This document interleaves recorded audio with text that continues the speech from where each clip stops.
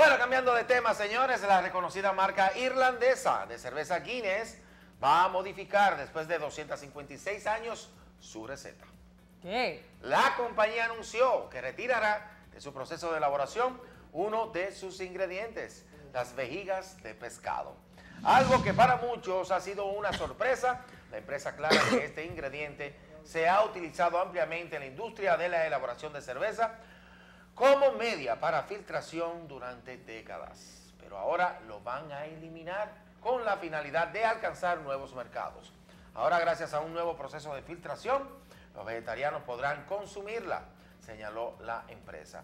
Uno de los principales representantes del gremio en el país de la mítica cerveza negra Vegan Irlanda asegura que se habían quejado sobre este asunto infinidad de veces y habían realizado varias campañas para presionar a la compañía.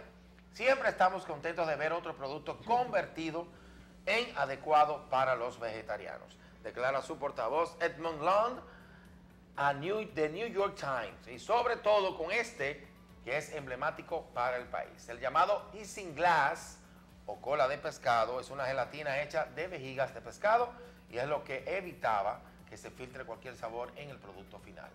Adam Callaghan, su experto en cervezas, asegura que los consumidores no notarán, no notarán la, la diferencia cuando se haga el cambio previsto a lo largo del 2016.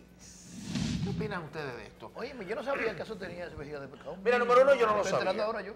Número uno, yo no Digo, lo yo no sabía. soy muy tampoco bebedor de cerveza, pero... Número dos, eh, yo entiendo, señores.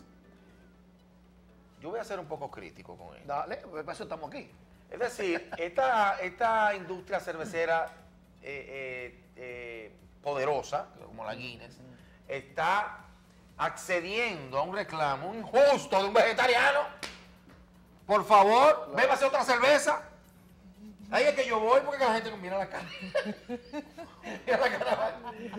Oye, pero ¿y cómo es posible, señores? Ahora, que yo haga una, una ¿cómo se llama? Una edición especial. Que, no pero ¿y por qué yo tengo que cambiar mi cerveza de siglos? Mira, Estamos hablando de 256 años. yo te voy a porque un vegetariano está reclamando. Vean, que el vegetariano va a gobernar el mundo. Yo hoy. te, voy, yo te voy a decir algo en ese sentido. Por favor, señores. empresa- Hagan su cerveza Oye, ustedes. Cuando tú una empresa como esa hace ese cambio, eh, porque le da mucha mente. y, a muchos años dándole mente a eso.